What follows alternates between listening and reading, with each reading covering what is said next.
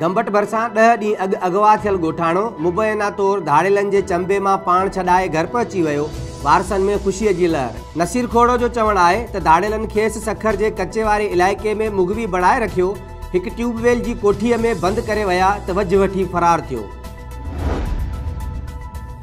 वफ़ाक़ी वज़ीर परवेज़ खटक ऐं जहांगीर तरीन जी अॻुवाणीअ में पीटीआई जो वफ़द कराची पहुची वियो गवर्नर हाउस में इमरान इस्माइल से मुलाक़ात दौरान चौधरी मोहम्मद सरवर असद उमर ऐं बिया अगवान भी मौजूद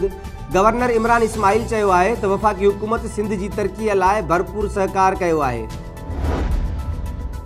माण्हू बिना कंहिं ड्रप जे थानन सां राब्तो कन था आई जी सिंध कलीम इमाम चयो आहे त कानून जी अमलदारी पुलिस जो बुनियादी फर्ज आहे ऐं जेकी बि इशूज़ हूंदा उन्हनि खे तरजीही बुनियादनि ते हलु कयो वेंदो अमून अमान जे हवाले सां इजलास दौरान पुलिस ऑफिसर्स जी साराह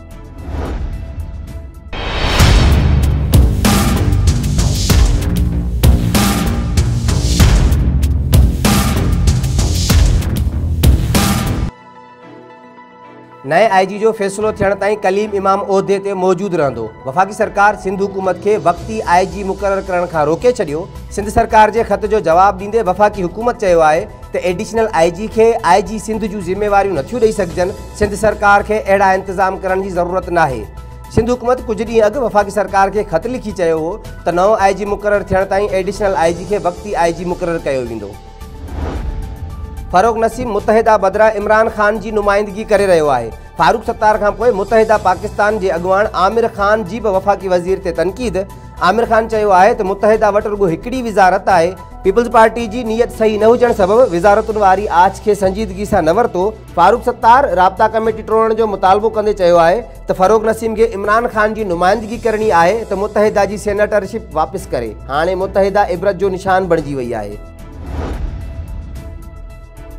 नवाब वली मोहम्मद भरसा प्राइमरी उस्ताद मुबैना तौर मासूम शागिर्द से तशद कर सनस मुँह सुजाए छो साजिद जुड़े जो तरफा वारसन सूदो प्राइमरी उस्ताद कुर्बान देथो खिलाफ एहतजाज कार्रवाई जो मुतालबो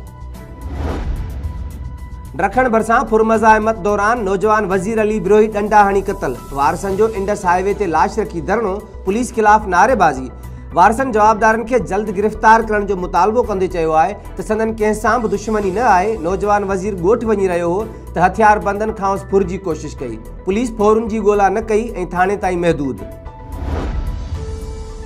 ऐं कराची में रांगवे ऐं ख़तरनाक वन व्हीलिंग जे इल्ज़ाम में हिकु सौ खां वधीक ओबाश नौजवान गिरफ़्तार पुलिस रस्सी ऐं प्लास्टिक ॿधी नौजवाननि खे अदालत में पेश कयो